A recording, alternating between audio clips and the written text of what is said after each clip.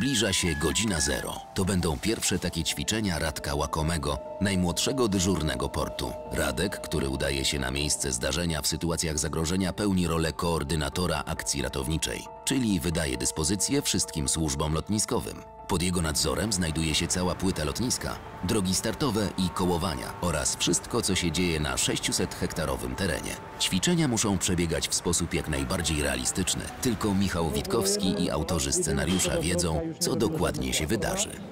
Strażnica do wszystkich sekcji. Alfa 8, zderzenie samolotu turbośmigłowego TAP 340 z holownikiem. Ogłaszam alarm dla służb lotniska Chopina. Ogłaszam alarm dla służb lotniska Chopina.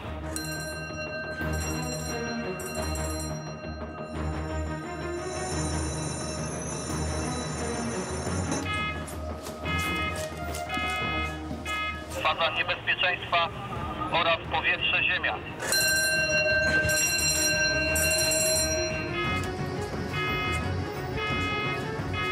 Trzydzieści osób na pokładzie i 800 kg paliwa.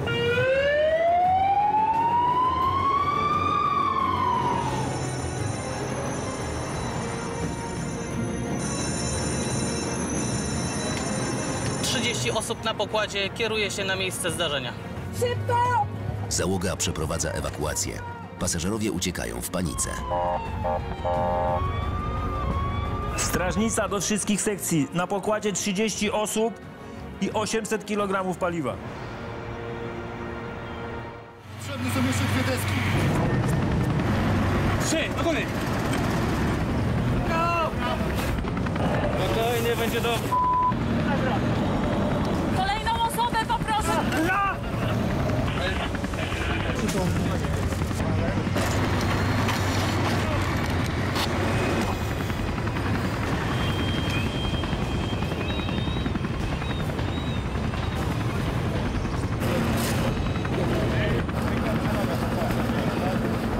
To, czego jesteśmy obserwatorami, są to na szczęście ćwiczenia.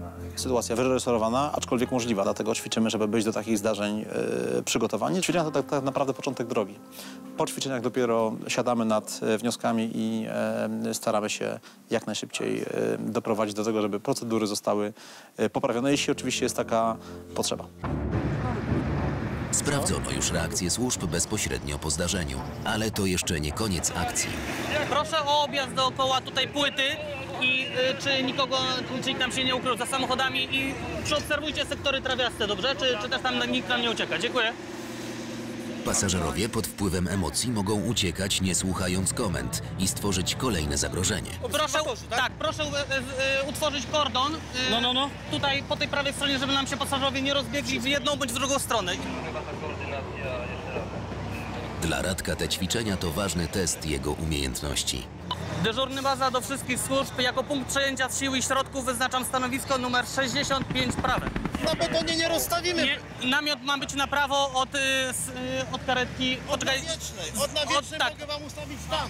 Dobrze, czyli za, za Tam, za e, pojazdem straży. namiot, Od nawiecznej. Dobrze.